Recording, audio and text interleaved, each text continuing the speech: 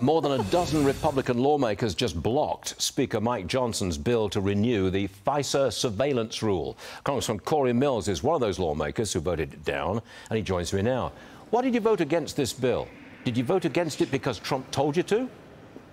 No, not at all. And in fact, what we looked at was the 287,000 plus violations by the FBI where they've abused and misused FISA to pry and uh, spy on American citizens. This is not about a you know, defeat for Johnson, but more about a victory for the American privacy. When you think about the amount of data privacy that's being sold, when you think about the violations where no one has been held accountable, not Wray, not Page, not Strzok, no one who's actually gone after the president on Crossfire Hurricane or spied on a presidential election, which is in fact election interference. All of these things have not actually changed. And so the idea of reauthorizing for five more years, something that's been grossly abused for this long, I just couldn't in good conscience do so. Well, there are some people who say, look, we just lost an important anti-terror tool. Can you tell me what we gained by not renewing FISA? Well, what we actually have gained is the fact that now you're going to have warrant procedures in there that can stop the abuse of this. What you're gaining from this is the fact that now there's criminal penalties for those who abuse uh, FISA who are within the FBI or any of the IC communities. What we've gained from this is the ability to not have it for a five-year renewal, but a two-year renewal. So there's many reforms. The issue, and by the way, if FISA was to actually lapse in, in on the 19th, it would still continue to run for another year. So it's not as if, Varney, this kind of tall tale that it's just going to disappear tomorrow and we're going to go black. That is not exactly the case. It would run for another year subsequently, and there's other actual procedures okay. and policies within FISA, not just 702. Okay, fair enough, sir. Uh, the president is insisting that the U.S. is committed to Israel. Watch this.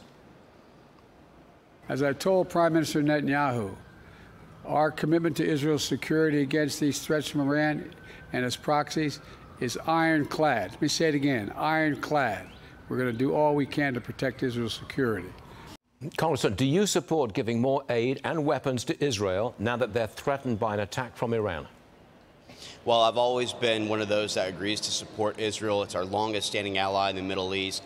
It's a great partner for us, and they have a right to defend themselves after horrendous and barbaric attacks. But we also have to bear in mind that there's still hostages that are being held. If the American government had hundreds of hostages that were being held, we would be looking at the same type of operations militarily as what you're seeing Israel carry out. And so, what I'm worried most about, though, is Biden's refusal to accept that he's the reason Iran has all the money they have to fund fund Hamas, to fund Hezbollah, to fund the Houthi rebels who he delisted on the terrorist organization because he released billions in fungible assets that were unfrozen and refuses to impose the sanctions that would stop the tens of billions of dollars in increased oil that is being exported out of Iran that's helping to fund these types of operations.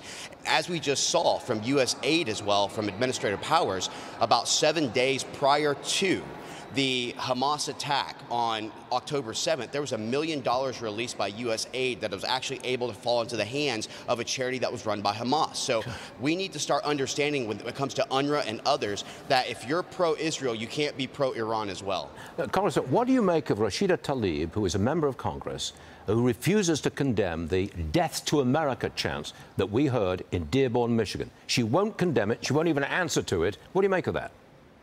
Well, you know what? It's absolutely sad that we have pro Hamas sympathizers who swear an oath to protect our Constitution against all enemies, foreign and domestic, and won't stand with our allies. I don't think anyone can look at what happened on October 7th and look at this and say, this is okay. You know, that's the equivalent of someone saying that on 9 11 something happened, which we had another member who made that comment. This is the Israelis' 9 11. We have to acknowledge the fact that just as we wouldn't have another nation tell us that we couldn't go after those responsible, we shouldn't be demanding a ceasefire to stop them from going after hostages. And oh, by the way, there's American Americans who are still being held hostage as well. And so we need to continue to support our allies. And if there are members of Congress who won't do that, in my personal opinion, they should find a new job. yes, sir. Congressman Cory Mills, thanks very much for being with us today. You come back soon, please. Thank you very much, sir. Thank you, sir.